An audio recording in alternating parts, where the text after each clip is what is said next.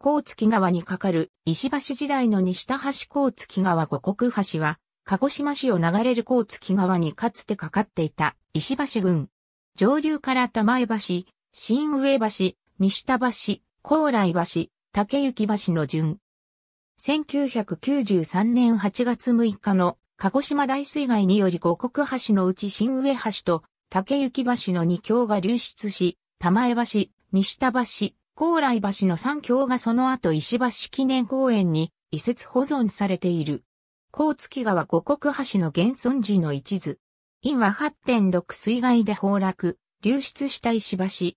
また印がない橋は石橋記念公園に移設保存されている。江戸時代末期に店舗改革を担当した家老、図書広里が、肥後国の石膏、岩永三五郎を招いて作った石橋郡。以来現役の橋として利用され、また貴重な文化遺産として親しまれてきた。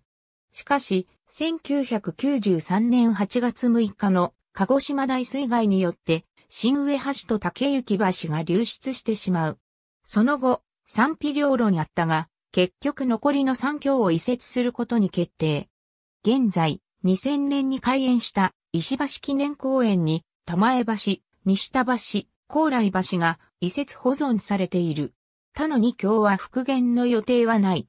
上記2橋は崩壊流出しているため、石材が必要量残っていなかった。そのため、回収された石材は記念公園の周辺整備に使用された。新上橋と竹行橋の流出に関するカテゴリー。ありがとうございます。